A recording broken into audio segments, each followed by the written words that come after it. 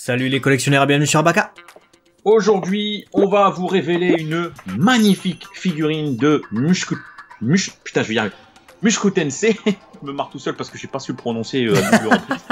Euh, ce n'est pas Harry Potter sur un balai. Non, non. Non. Euh, c'est un, c'est un personnage grandiloquent.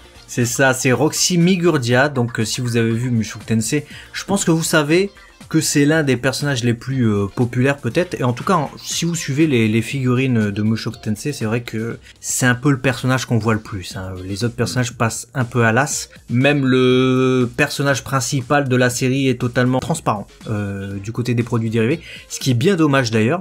Mais en tout cas, Prime One Studio. Prime One Studio, oui, vous avez bien entendu. Le, le grand euh, fabricant de statues à 1000 balles, à 1200 balles, à 1500 balles, que dis-je, à à 2000 balles, nous propose cette figurine pour un prix, ma foi, tout à fait décent. Ouais, 24 000 yens. Bon, ça reste quand même une figurine à 210, 220 balles, mais pour Prime One, je pense qu'il y a une stratégie de se décupler et en même temps de toucher plusieurs horizons. Ils doivent se dire qu'effectivement, des figurines, enfin des statues même, à 1500 boules, ça doit pas être euh, pour toutes les bourses. C'est bien de s'en rendre compte. Donc, on va essayer de taper aussi euh, sur des figurines euh, de gamme, on va dire moyenne. hein, on va dire ça comme ça. Et effectivement, bah là, on a ce- cette, cette figurine qui est annoncée et qui, de prime abord, je trouve, euh, bah, je vois cette Roxy, je me dis putain, elle a quelque chose qui s'en dégage, elle est dynamique, elle est, elle est, elle est bien sculptée.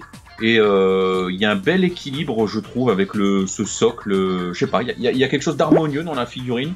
Et j'aime beaucoup, j'aime beaucoup. Bah, je dois t'avouer que je l'avais vu en précommande, donc j'avais l'occasion de la précommander. Euh, à ton avis, qu'est-ce que j'ai fait? Bah t'as précommandé. Ou alors t'as essayé de précommander et puis euh, ton banquier a dit non, mais il y a eu une tentative. Non, je l'ai pas précommandé. Je l'ai pas précommandé en fait parce que c'est vrai qu'il y a beaucoup de propositions de Roxy et euh, il y en a des très belles en fait qui sont déjà euh, sorties et d'autres qui vont sortir qui sont déjà proposées et tout ça. Donc il y a beaucoup de choix en fait sur ce personnage. Et j'ai regardé la statue. Je suis d'accord avec toi en fait. La, pose est vraiment sympa. La, pose est vraiment originale. Euh, on l'a euh, aussi en train de voler. hein.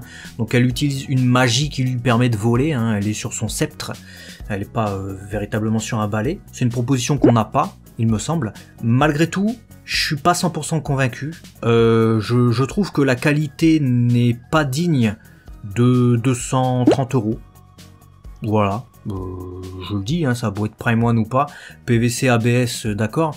Mais quand tu regardes les, autres fabricants, les autres propositions de figurines de Roxy, je vous en mets quelques-unes là. Euh, voilà, on est aux alentours des 150, 200 balles à chaque fois. T'en as des plus belles que ça. Et euh, tu parlais du socle, moi j'aime bien l'aspect euh, venteux comme ça qui part un peu. Mais alors la couleur, je la trouve dégueulasse. hein. Ils, nous ont fait un truc gris, gris moche en fait.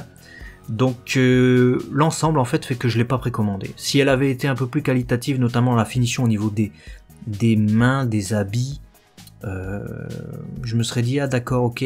Peut-être aussi quelques trucs du, du visage qui me chiffonnent. Elle est belle. Vous allez peut-être l'acheter. Dites-le nous en commentaire. Mais elle est pas assez bien pour du Prime One pour moi. Hmm. Je, ne peux que te rejoindre sur ce point-là. hein. Je, la trouve belle, je la trouve bien, bien sculptée, j'aime bien le dynamisme et tout ça, euh, ça c'est clair et net. Mais par contre, là où je te rejoins un milliard de pourcents, c'est le rapport euh, qualité-prix. euh, on n'y est pas du tout. On n'y est pas du tout.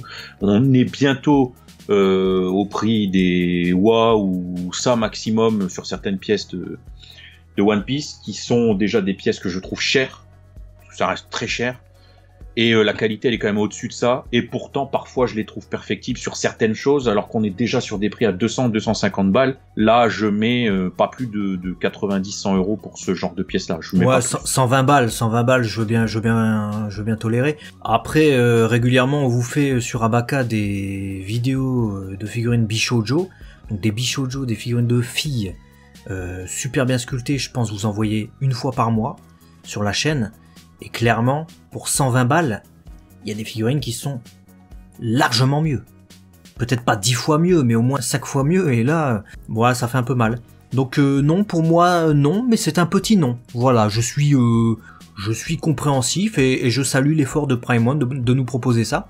D'autant plus qu'elle est en précommande depuis le 24 février 2022, mais qu'elle ne sortira qu'entre février et avril 2023.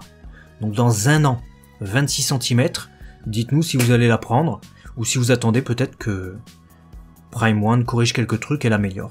Voilà, bah écoutez, vous avez euh, toutes les informations sur cette euh, figurine de Mushoku Mush... Putain, j'arrive pas à le prononcer. Mushoku Tensei. Je te jure, c'est un mot, ça veut pas. Ça veut pas. Donc t'as une figurine de ça, débrouille-toi. En tout cas, partage la vidéo, abonne-toi. On t'aime très fort et à très vite sur Abaka, la chaîne des... La chaîne des collectionneurs, à très vite.